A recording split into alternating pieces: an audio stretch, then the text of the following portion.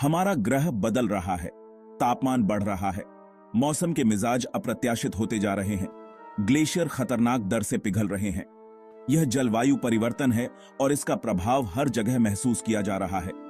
हम इसे अनियमित मानसून, समुद्र के बढ़ते स्तर और लू की बढ़ती तीव्रता में देखते हैं। इस संकट से निपटने की तात्कालिकता को नकारा नहीं जा सकता। कार्य करने का समय अब है।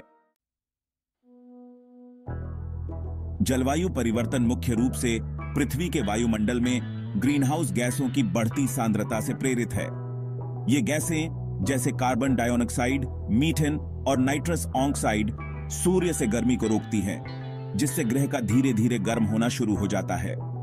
जबकि ये गैसें प्राकृतिक रूप से होती हैं मानवीय गतिविधियों ने वातावरण में उनकी सांद्रता में काफ़ी वृद्धि की है जिससे ग्रीन हाउस प्रभाव बढ़ गया है। भारतीय संदर्भ में कई कारक ग्रीन हाउस गैस उत्सर्जन में योगदान करते हैं। तेज़ी से औद्योगिकरण और शहरीकरण के कारण ऊर्जा की खपत में वृद्धि हुई है, जिसमें कोयले जैसे जीवाश्म ईंधन पर बहुत अधिक निर्भरता है।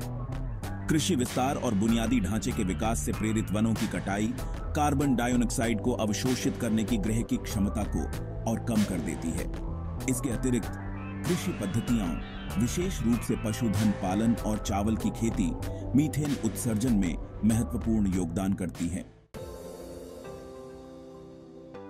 जबकि जलवायु संकट का पैमाना भारी पड़ सकता है, यह याद रखना महत्वपूर्ण है कि इसके प्रभावों को कम करने में प्रत्येक व्यक्ति की भूमिका होती है।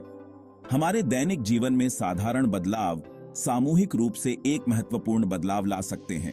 सार्वजनिक परिवहन, साइकिल चलाना या पैदल चलकर निजी वाहनों पर अपनी निर्भरता कम करने से कार्बन उत्सर्जन में काफ़ी कमी आ सकती है। अपने घरों और कार्यस्थलों में ऊर्जा दक्षता को अपनाना एक और प्रभावशाली कदम है। ऊर्जा कुशल उपकरणों पर स्विच करना, एलईडी लाइटों का उपयोग करना और ऊर्जा की बर्बादी को कम करना हमारे कार्बन पदचिह्न को काफ़ी हद तक कम कर सकता है।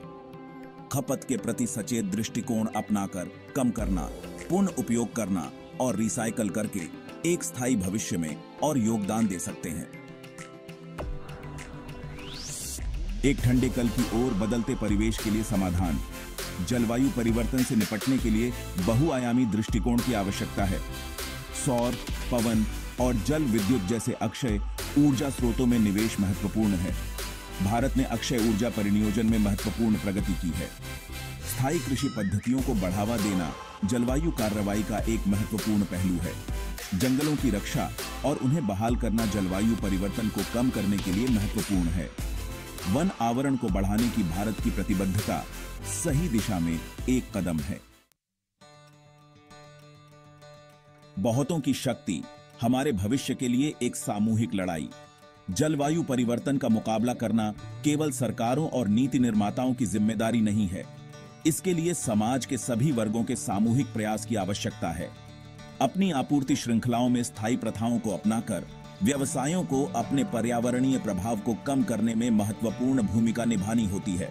प्रौद्योगिकी में नवाचार कम कार्बन वाले भविष्य के लिए समाधान प्रदान कर सकते हैं। नागरिक समाज संगठन और व्यक्ति जागरूकता बढ़ाने, नीतिगत बदलावों की वकालत करने और स्थायी जीवन शैली को बढ़ावा देने में महत्वपूर्ण भूमिका निभाते हैं। भावी पीढ़ियों को जलवायु परिवर्तन के बारे में शिक्षित करना और उन्हें परिवर्तन के दूत बनने के लिए सशक्त बनाना एक स्थायी भविष्य के लिए आवश्यक है। जलवायु परिवर्तन के खिलाफ लड़ाई एक साझा ज़िम्मेदारी है और साथ मिलकर हम एक अधिक टिकाऊ और लचीला भविष्य बना सकते हैं। हमारी साझा ज़िम्मेदारी कार्यवाही हेतु आह्वान। पृथ्वी हमारा घर है और हमारी ज़िम्मेदारी है कि हम इसकी रक्षा करें। हमें जलवायु संकट की तात्कालिकता को पहचानना चाहिए। और इसके प्रभावों को कम करने के लिए निर्णायक रूप से कार्य करना चाहिए।